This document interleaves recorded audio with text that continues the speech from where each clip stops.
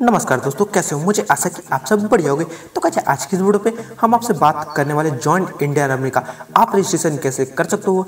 आज की इस वीडियो पे बात करेंगे तो वीडियो का लास्ट तक बने रहेगा और चैनल को अभी तक आपने सब्सक्राइब नहीं किया तो चैनल को सब्सक्राइब ज़रूर कर लेना। चलिए वीडियो करते स्टार्ट और आपको सिंपली बताते हैं। तो नमस्कार दोस्तों, मेरा नाम है सोनू और आप सभी का हमारे यूट्यूब चैनल पर बहुत बहुत स्वागत करता हूँ। तो कल मैं आपको बता दूँ जॉइंट इंडियन आर्मी जो होता है ना, इसमें रजिस्ट्रेशन एक बार होता है। बार बार रजिस्ट्रेशन नहीं होता कि आप जब भी फॉर्म भरो तो बार बार रजिस्ट्रेशन ऐसा नहीं होता। इसमें एक ही बार रजिस्ट्रेशन होता है, इसलिए आराम से करना होगा, ठीक है तो आपको रजिस्ट्रेशन करने के लिए आपको सिंपली गूगल पे जाना है जॉइंट इंडियन आर्मी सर्च करने हैं, जो फ़र्स्ट वाली वेबसाइट देखने को मिलेगी। आपको सिंपली इसको ओपन कर लेना होगा।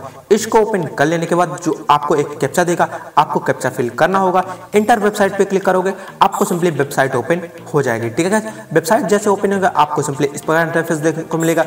जहाँ पर गाइज़ आपको कई सारे सर्विस देखने को मिलेंगी, कई सारी ऑप्शन देखने को मिल जाएँगी। नीचे लिखा रहेगा एंट्री अप्लाई लॉगिन आप लोग क्या करते हैं? ऑफिसर वाले में लॉग इन कर लेते हैं। ऑफिसर वाले में अप्लाई कर लेते हैं। ऐसा मत करना, गलती मत करना। ऑफिसर वाले में सिंपली आपको अप्लाई नहीं करना है। ऐसी गलती आपको नहीं करना है। आपको सिंपली अग्निपथ वाले पे अप्लाई करना होगा। अग्निपथ अप्लाई करने के लिए आपको सिंपली यहाँ पर अग्निपथ लिखा हुआ है। आपको सिंपली उस पर क्लिक कर देना होगा। उस पर क्लिक करने के बाद अगर आपका लॉगिन है तो लॉगिन करना है। अदरवाइज़ आपको न्यू रजिस्ट्रेशन पर क्लिक करके आपको आगे का फॉर्म फिल करना होगा। तो चलिए न्यू रजिस्ट्रेशन पर क्लिक कर देते हैं और आपको बताते हैं आगे का फॉर्म फिल करना। तो यहाँ पर इंस्ट्रक्शन है, इसको सिंपली नीचे आना है कंटिन्यू के बटन पे क्लिक करके आपको सिंपली आगे बढ़ जाना होगा।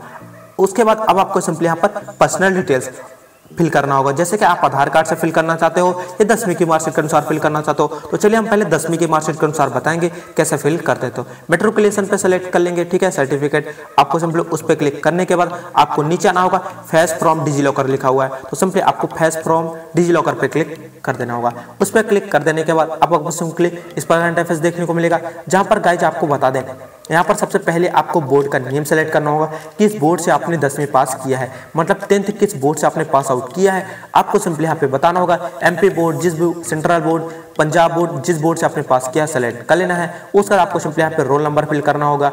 ठीक है टेंथ का रोल नंबर फिल कर देना। आपने टेंथ कब टॉप मारा है मतलब कब आपने पास आउट किया है, आपको सिंपली फिल करना होगा। फुल नेम फिल कर देना होगा।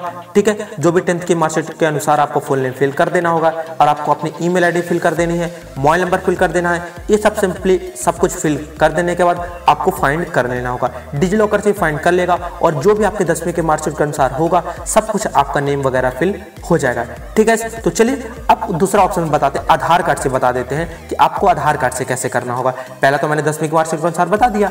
अब आपको सिंपली आधार कार्ड को बता देता हूँ। आपको आधार कार्ड पे क्लिक करना है, एक पॉपअप आएगा तो उसमें बताएगा कि सब कुछ आधार कार्ड से ले लेगा आपका डॉक्यूमेंट ठीक है? तो ये बता रहा है कि दसवीं के वार्षिक अनुसार और आपका आधार कार्ड में सब कुछ सेम है, आपको पॉपअप को ओके कर देना है, और आपको आधार कार्ड पर सिलेक्ट करने के बाद डिजी लॉकर पे क्लिक कर देना होगा जैसे क्लिक कर दोगे, अब आपको सिंपली यहाँ पे आधार नंबर फिल कर देना होगा। आधार नंबर फिल करने के बाद आपको नीचे दिए कैप्चा कैप्चा फिल कर देना और आपको नेक्स्ट के बटन पर क्लिक करके सिंपली आपको आगे का फॉर्म फिल करना होगा। तो चलिए यहाँ पर कैप्चा फिल कर देते हैं। उसके बाद आपको नेक्स्ट के बटन पे क्लिक कर देना है। नेक्स्ट के बटन पे जैसे क्लिक कर दोगे, आपके आधार कार्ड में जो नंबर लिंक होगा, उस पर एक ओटीपी आएगी। उस ओ कहाँ पे इंटर करेंगे और कंटिन्यू के बटन पर क्लिक कर देंगे। तो आपको ध्यान से ओटीपी फिल कर देने हैं। जो भी आपके आधार कार्ड से नंबर लिंक होगा, उस पर एक ओटीपी आएगी और आपको कंटिन्यू पे क्लिक कर देना होगा। ओटीपी इंटर करने के बाद, ठीक है, अब आपको डेनिंग और अलाउ का बटन देखने को मिलेगा। तो सिंपली आपको अलाउ कर देना होगा। क्यों अलाउ करना है? क्योंकि जो भी डिटेल्स है, इसको देना होगा ना, ये वेरीफाइड करेगा पूरी डिटेल्स तो आपको सिंपली अलाउ कर देना है। जैसे आप अलाउ कर दोगे, ये कुछ देर वेटिंग करेगा, कुछ देर लोडिंग लेगा, उसके बाद आपको सिंपली इस प्रकार इंटरफेस देखने को मिल जाएगा, जहाँ पर आपको नाम, आपके फादर नेम आपकी डेट ऑफ़ बर्थ जेंडर आपका सब कुछ आधार कार्ड से ले लेगा। ले लेने के बाद अब आपको सिंपली यहाँ पे डोमिसाइल स्टेट आपका डोमिसाइल स्टेट क्या है?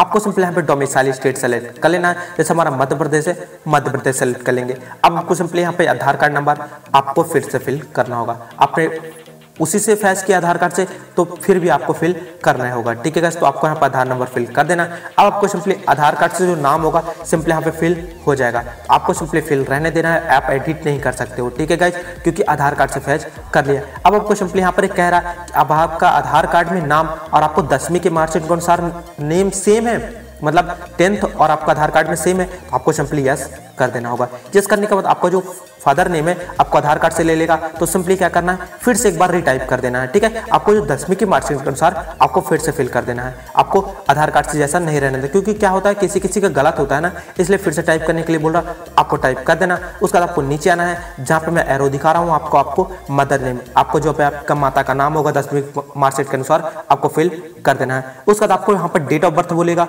ठीक है? कि आपका डेट ऑफ़ बर्थ सेम है, जो आपके आधार कार्ड में है, वो दसवीं की मार्कशीट के अनुसार है सेम है डेट ऑफ़ बर्थ तो आपको सिंपली यहाँ पर यस कर देना है। जहाँ पे मैं एरो दिखा रहा हूँ, वहाँ पे यस कर देना है। उसके बाद आपको नीचे आ जाना होगा, आपको ईमेल आईडी फिल कर देनी होगी, जो भी आपकी ईमेल आईडी होगी, चालू होगी, क्योंकि एक ही बार ईमेल आईडी डलेगी। ध्यान रखना तो आपको ईमेल आईडी चालू वाली फिल कर देनी है। मोबाइल नंबर जो हमेशा चालू रहे, आपको वही मोबाइल नंबर यहाँ पे फिल करना है, कोई भी गलती नहीं करनी है, ठीक है? आपको यहाँ पे मोबाइल नंबर फिल कर देना है। उसके बाद आपको यहाँ पे डिक्लेरेशन देखने को मिलेगा। आपको डिक्लेरेशन के बॉक्स पे चेकआउट कर देना है। उसके बाद आपको नीचे आना है। आपको देखने को मिलेगा वेरिफिकेशन कोड आपको सिंपली क्या करना है? वेरिफिकेशन कोड पे फिल करना है और आपको सिंपली यहाँ पर सबमिट और कैंसिल का बटन देखने को मिलेगा। आपको क्या करना है? सबमिट के बटन पे क्लिक करोगे, एक पॉपअप आएगा और उसमें बताएगा कि आपको सिंपली आपकी ईमेल आईडी पर ओटीपी गई है। तो आपको क्या करना है? जो आपकी ईमेल आईडी की ओटीपी आएगी, उस ओटीपी को यहाँ पे इंटर करना है। नीचे दिया गया है वेरिफिकेशन कोड मतलब कैप्चा आपको सिंपली उसको फिल कर देना होगा। आपके ईमेल आईडी पे जो भी ओटीपी आएगी, आपको उस ओटीपी को फिल करने के बाद कैप्चा फिल करने के बाद आपको सबमिट कर देना अगर ओटीपी नहीं आती तो आपको जनरेट ओटीपी पर क्लिक करके फिर से एक बार आपको जनरेट कर लेनी है। हमारे पास ओटीपी आई, हमने सिंपली सबमिट कर दिया है। अब आपको सिंपली आगे का फॉर्म फिल करना होगा। तो आगे का फॉर्म फिल करने के लिए, अब आपको सिंपली सबसे पहले आपको क्या फिल करना होगा? चलिए बात करते हैं। पहले तो आपको जेंडर फिल करना होगा। ठीक है? तो यहाँ पे सबसे किनारे आपको जेंडर देखने को मिलेगा जहाँ पे मैं एरो दिखा रहा हूँ। वहाँ पे आपको जेंडर सेलेक्ट करना मेल फीमेल आप क्या है? तो हमने मेल सेलेक्ट किया। आप कह रहा है कि आप सही जेंडर सेलेक्ट करना आई श्योर आपको सिंपली क्या करना है? ओके के बटन पे क्लिक करके आपको सिंपली यस कर देना है। ठीक है गैस तो हम सिंपली ओके कर देंगे। अब आपको सिंपली यहाँ पर पूछ रहा मैरिटल स्टेटस मैरिड अनमेरिड आपको सिंपली बताना होगा। अनमेरिड बता देते हैं। हाइट बतानी होगी सेंटीमीटर में। 170, 180, 190, 200 आप जितनी होगी आपको सिंपली अपनी हाइट बता देनी होगी। ठीक है गाइस आपको सेंटीमीटर में अपनी हाइट बता दी अगर आपको सही नहीं पता तो आप कुछ उन्नीस बीस अनुमानित भी बता सकते हो, ठीक है? हमें पता है तो हम सिंपली सेलेक्ट कर लेंगे। उसके बाद आपको बगल पे बगल पे आपको डिस्ट्रिक्ट सेलेक्ट करना होगा। ठीक है, आपके डिस्ट्रिक्ट क्या है? ठीक है, आपके जो आधार कार्ड में जहाँ आपका निवास बना होगा, आपको डिस्ट्रिक्ट सेलेक्ट कर लेने जैसे रीवा मऊगंज सतना, आपका जो भी लगता होगा एमपी में, आपको सेलेक्ट कर लेना है। उसके बाद आपको तहसील आपके आसपास जो भी तहसील आपकी लगती है, आपके गाँव की आपको सिंपली बता देना होगा। ठीक है, आपके गाँव की, आपके डिस्ट्रिक्ट की जो भी तहसील लगती होगी, आपको सिंपली यहाँ पे अच्छे से फिल करना है कोई भी गलती मत करना, क्योंकि करेक्शन नहीं होगा। या आर्मी वाले मारते तो बहुत है भाई, इसलिए आपको ध्यान रखना है। ठीक है, आपको सेलेक्ट कर लेना तहसील। तहसील सेलेक्ट करने के बाद आपको यहाँ पर हाईएस्ट क्वालिफिकेशन सेलेक्ट करनी ten twelfth graduation post graduation D pharma B pharma आपका क्या है, आपको सिंपली यहाँ पर हाईएस्ट क्वालिफिकेशन सेलेक्ट कर लेनी है। उसके बाद आपको बताना है कि आप ट्वेल्थ पास आउट है या नहीं। मतलब हाईएस्ट क्वालिफिकेशन पास यहाँ पे रहेंगे पास है तो पास सेलेक्ट कर लेंगे। उसके बाद आपको नीचे आना है, आपका मेट्रोकुलेशन मतलब दसवीं आप किस बोर्ड से पास किए हैं, आपको बताना होगा। Other open school state board आप कैसे पास आउट हैं, आपको सिंपली बताना होगा। उसके बाद आपने स्टेट बोर्ड सेलेक्ट किया, अब किस स्टेट से आपने पास आउट किया है, आपको सिंपली बताना होगा। उसके बाद आपको यहाँ पर मेट्रिकुलेशन मतलब टेंथ का जो है, आपको सिंपली रोल नंबर फिल कर देना होगा। तो आपको ध्यानपूर्वक रोल नंबर फिल कर देना है। ठीक है उसके बाद आपसे नीचे आना है।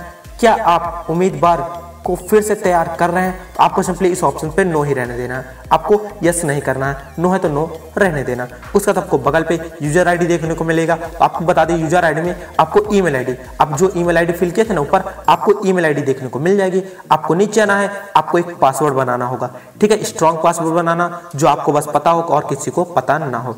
आपको एक स्ट्रॉन्ग पासवर्ड बना लेना है, नीचे आना है, आपको कैप्चा फिल करना है कैप्चा फिल कर देने के बाद आप पूरे फॉर्म को अच्छे से चेकआउट कर लेना है। कहीं कुछ गलती तो नहीं की है, आपको चेकआउट करने के बाद आपको सेव के बटन पे क्लिक कर देना है। जैसे आप सेव के बटन पे क्लिक कर दोगे, अब आपको बोल देगा कि आपका सक्सेसफुली जो है you are in now registration with joint Indian army website आपका सिंपली सक्सेसफुली रजिस्ट्रेशन हो चुका है। अब आपको सिंपली क्या करना होगा गो टू होम पेज पे क्लिक करना होगा। गो टू होम पेज पे क्लिक करने के बाद आपको कैचा एंटर करना होगा, ठीक है? और इंटर वेबसाइट पे क्लिक करके अब आपको सिंपली यहाँ पर वेबसाइट पे इंटर हो जाना है। अब आपको सिंपली यहाँ पे लॉग इन अप्लाई ऑनलाइन पे क्लिक करके आपको सिंपली लॉगिन करना होगा। आगे का फॉर्म फिल करने के लिए तो लॉगिन पे क्लिक करना। अब जब आपने यूज़र आईडी बनाई थी अपनी ईमेल आईडी तो उस ईमेल आईडी को फिल कर देना और आपको पासवर्ड मांगेगा। आपको जो पासवर्ड आपने बनाया था स्ट्रॉन्ग आपको पासवर्ड फिल कर देना है। नीचे दिया जाएगा कैप्चा आपको कैप्चा फिल करने के बाद सिंपली लॉगिन करना होगा। मान लीजिए किसी भी गलती की वजह से आप पासवर्ड वगैरह भूल जाते हो या फिर अपनी यूज़र आईडी भूल जाते हो, ठीक है? किसी भी वजह से आपको सिंपली यहाँ पे फॉरगेट का भी बटन देखने को मिलेगा। आप सिंपली यहाँ पर फॉरगेट भी कर सकते हो। किसी वजह से अगर आप भूल गए तो आप सिंपली फॉरगेट कर सकते हो। ठीक है, हमारा याद है, हम सब कुछ सही फिल किए, हमें याद भी है तो सिंपली हम लॉगिन कर लेंगे। लॉगिन टू कन्फर्म पे क्लिक करेंगे तो सिंपली आप, आपकी आईडी लॉगिन हो चुकी है। आईडी लॉगिन हो चुकी है, अब आपको सिंपली यहाँ पे किनारे आपको कई सारे ऑप्शंस देखने को मिल जाएँगे। My profile apply online history of application form तो सिंपली आपको अप्लाई ऑनलाइन पे क्लिक करके आपको सिंपली आगे का फॉर्म फिल करना होगा। ठीक है तो मैं अगली वीडियो में बताऊँगा आगे का फॉर्म कैसे फिल करते हैं। तो चैनल को अभी सब्सक्राइब करके रख लो, जिससे मैं फॉर्म भरने पर वीडियो बनाऊँ तो आपको तुरंत मिल जाए। तो अभी चैनल को सब्सक्राइब कर लो। कल मैं वीडियो ला दूँगा कि आगे का फॉर्म कैसे फिल करते हैं।